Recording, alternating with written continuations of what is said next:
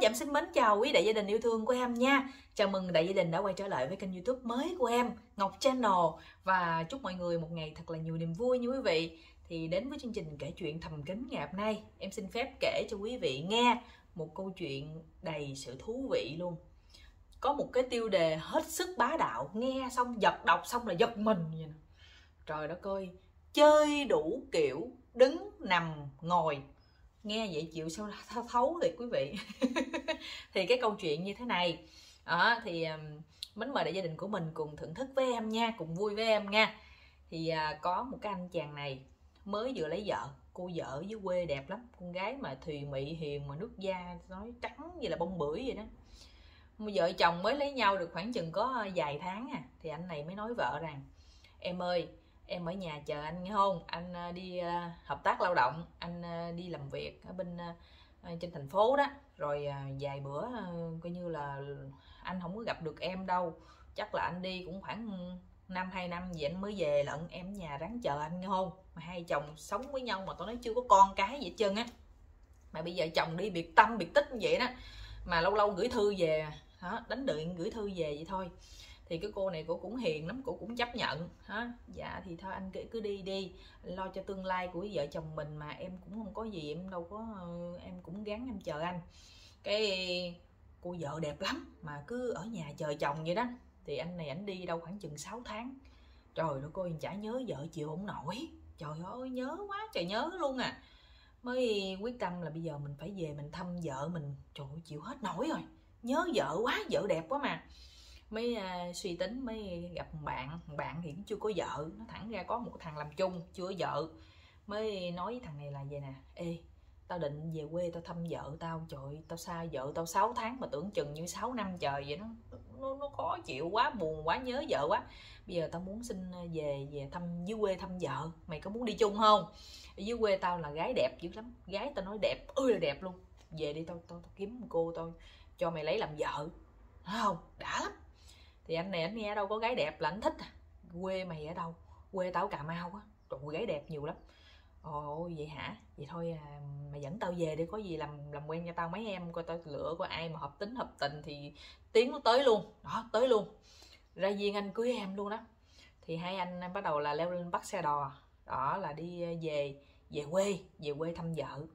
Trời ơi lâu lắm rồi. Cả 6 tháng nay rồi xa vợ chịu hết nổi rồi về thấu có cho vợ biết, muốn làm cho vợ mình bất ngờ. Thử coi vợ mình nói nhà nó có nó có mèo mã gà đồng gì ai không? Vậy nó cũng ghen vậy đó. Thì khi mà về thì không ngờ là thấy vợ đang ngồi trước cửa nhà đang lặt rau. Mà cô vợ đâu biết là chồng mình về đâu, cũng đang lui khui đang ờ, lặt rau chuẩn bị nấu cơm chiều vậy đó trời ơi, anh chồng ảnh vừa về, anh nói, em ơi, chào hai chồng. Nhìn lên, trời cô vợ muốn gớt nước mắt luôn, mừng quá trời. Anh ơi anh ơi, anh đi đâu mà lâu quá, em nhớ anh quá khóc quá trời luôn. Anh chồng ôm cô vợ nó thôi đừng khóc, anh về nè. Trời anh nhớ em quá, chịu hết nổi rồi muốn về thăm em đó. Đó là xin xếp cho về. Hai vợ chồng bắt đầu là đẩy cho thằng bạn nhậu bữa hoành tráng. Thì tối đó thì cũng hai đứa nó thẳng ra cũng xỉn hết trơn à. Cái thằng có vợ nó mới nói với thằng kia vậy nè, thôi giờ á tối nay á, là như vợ chồng tao cũng lâu ngày không gặp nhau. Đó thì bây giờ vợ chồng tao thì nhà cũng nghèo mày thấy rồi đó. Chỉ có một cái um, cái phòng ở trong thôi. Đó nói cái phòng thì nó nghe nó sang chảnh nhưng thật ra là chỉ có cái màn che lại thôi đó. Hai chồng tao trong đó đó ngủ. Mày ha, chịu khó ngủ hôm trước nha. Có cái à, bộ dáng liêu quăng nè ngủ đỡ nhau ừ thôi được rồi tao ngủ đâu cũng được thanh niên chay chán mày lo gì thôi đi vô chồng ngủ đi cái nói xong thì hai chồng ngày dắt nhau vô chổng làm chuyện đó đó. Trời ơi, vợ chồng mà xa nhau, lâu ngày gặp nhau thì chỗ nó mừng. Làm chuyện đó chứ làm gì nữa. Vô, hai chồng bắt đầu nằm xuống làm chuyện đó. Thì cái anh này, anh nào mà nằm ngoài đây nè, anh đang nằm vậy đó. Trời ơi, đang nằm ngủ rồi nè. Tao nói, mũi tao nó bay do ve do ve. Nó chích nó chích chích chích. Ui da ui da. Xong rồi cái anh này anh kêu bằng là thanh niên chay chán này tao nó nằm ngủ mà mũi cắn quá chịu nổi. Bắt đầu mới la lên mẹ nó nữa. Nằm mà nó cũng ngủ mà cái bằng là nằm mà cũng chơi nè, là sao? Nằm mà cũng chơi nè. Trời hay chồng trong kia đang làm chuyện đó đó, có đầu cái cô vợ mới khiều anh chồng. Anh ơi anh ơi gì em? Gì đang làm mà kêu anh vậy em? Anh ơi, sao bạn anh nó nói mình nằm mà cũng chơi nè. Sao mà nó cũng biết vậy anh? Ờ anh cũng có nghe sao rồi chắc có lẽ là là mình à, làm nó nghe sau đó không ấy, mình đứng đi em, mình đứng đi mình làm chắc nó không nghe đâu. Cái hai chồng tiếp tục đứng đứng làm chuyện đó. Bắt đầu cái hai ông nội kia, ông đang nằm ngoài kia, ông bị mũi cắn quá, ông đâu có chịu nổi. Bắt đầu ông mới đứng lên, ông dựa, ông ngủ. Đang xỉn, nó ngủ. Mũi nó đâu có tha. Đứng nằm vậy đâu có tha, nó bay lên, chích, vô nghe vô nghe vô nghe chích chích chích chích. Bắt đầu cái anh này anh la lên. Mẹ nó nữa đứng mà cũng chơi nữa hả? Đứng mà cũng chơi là sao? Trời ơi, hai vợ chồng trong kia đang làm chuyện đó đó. Bắt đầu cô vợ của khiều nữa. Khiều anh chồng. Anh ơi anh ơi gì nữa vậy? Em kêu hoài cho đang làm kêu hoài. Anh ơi, anh có nghe gì không? Nghe gì em? Trời ơi, thằng bạn anh á, nó mới nói là đứng mà cũng chơi nữa hả?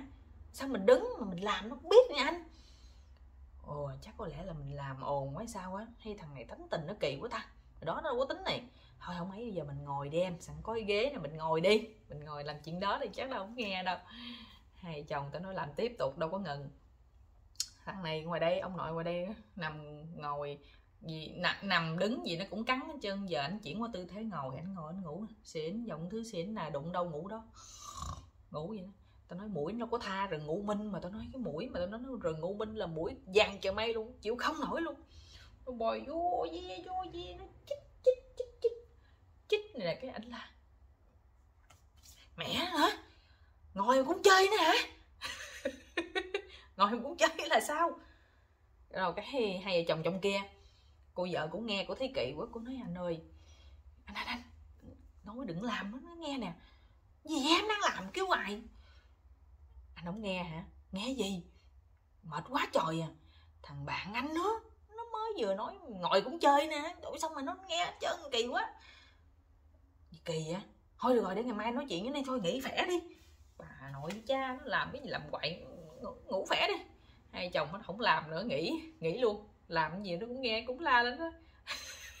Sáng mai sáng mai hai ông nội ra xúc miệng đánh răng. Cái thằng có uh, chưa có vợ đang xúc miệng nè. Xúc miệng. Thằng kia chạy ra hỏi quánh quánh vô cái cái đầu nhẹ, nhẹ vậy nè. Mày á vô duyên quá trời à vợ chồng tao tao đã nói, mày rồi, tao nhớ vợ lắm, tao mới xin xếp cho về. Khó khăn lắm mới về được mấy ngày phép để về thăm vợ. Trời ơi, vợ chồng tao biết cái đó lâu ngày gặp lại thì làm chuyện đó, vợ chồng tao chui phòng làm chuyện đó, mày cứ đứng đây, mày cứ la. Nằm cũng chơi, đứng cũng chơi, ngồi cũng chơi. Sao mày có duyên quá vậy? Thì cái anh này đang xúc miệng. Cái gì? Phun ủa, mày nói gì tao không hiểu? À cái chuyện hôm qua hả? Trời ơi, tao đâu có cố ý đâu. Tao nói nhà của mày mũi, tao nói rừng ngu minh mũi quá trời mũi, tao chịu không nổi. Nó cứ chích tao riết, tao đứng, tao nằm, tao ngồi gì, nó cũng cắn tao hết trơn tao chịu nổi, mũi mà làm như mũi đói đói hay sao, mũi đói hay sao mà nó chích chích hoài chịu nổi.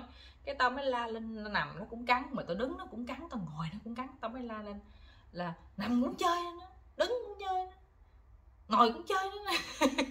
Chứ tao đâu có nói mày đâu thôi vợ chồng mày thôi à, thông cảm bỏ qua tao đi ha chứ tao không có cố ý. Cái mà à, đây là cái câu chuyện cũng khá là vui với quý vị. Thì đây chỉ là cái câu chuyện tiếu lâm hài hước nó không có thật như quý vị. À, cảm ơn quý vị rất là nhiều vì đã lắng nghe cái câu chuyện của em. Và xin chào và hẹn gặp lại mọi người trong những clip tiếp theo nha. Xin chào.